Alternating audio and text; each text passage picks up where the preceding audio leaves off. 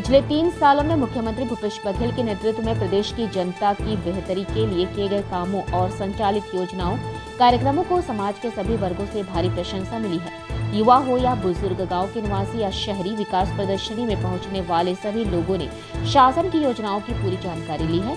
और उपलब्धियों पर संतुष्टि जताई है। छत्तीसगढ़ सरकार के तीन साल पूरे होने के अवसर पर कोरबा ज़िले में दो दिवसीय विकास प्रदर्शनी नगर निगम कार्यालय परिसर में लगाई गई। दूसरे दिन प्रदर्शनी में पहुँचे लोगों का विशेष ध्यान ज़िले में सरकार द्वारा बढ़ाई गई स्वास्थ्य सुविधाओं पर रहा। किसानों ने कर्जा माफ़ी, राजीव गांधी न्याय योजना, ग्रामीणों ने गोधन न्याय योजना तो युवाओं ने सरकार द्वारा नौकरियों के लिए बढ़ाए गए अवसरों की सराहना की। विकास प्रदर्शनी में शासन की योजनाओं की जानकारी लेने पहुँचे कोरबा निवासी हेमंत कुमार ने कहा कि प्रदर्शनी के माध्यम से शासन की योजनाओं की जानकारी एक ही जगह में मिल जाने से किसान सभी योजनाओं का लाभ लेने के लिए जागरूक हो रहे हैं। उन्होंने कहा कि प्रदर्शनी के माध्यम से वितरित किए जा रहे योजनाओं से संबंधित पॉम्पलेट, पुस्तक बहुत ही उपयोगी है।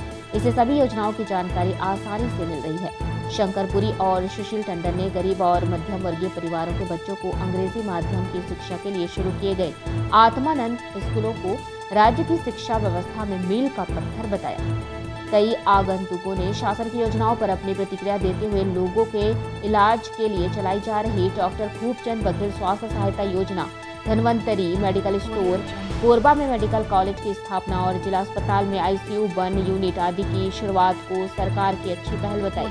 उन्होंने डॉक्टर खूबचंद बघेल स्वास्थ्य सहायता योजना के लाभ के बारे में जानकारी ली और कहा कि यह योजना सभी लोगों के लिए बहुत ही लाभकारी है।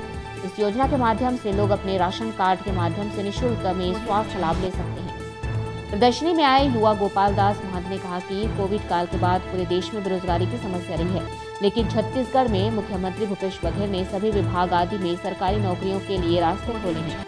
महंत ने कहा कि अनुकंपा नियुक्तियों में भी नियमों को शिथिल करते हुए युवाओं को तेज़ी से शासकीय सेवा में नियुक्त किया गया है।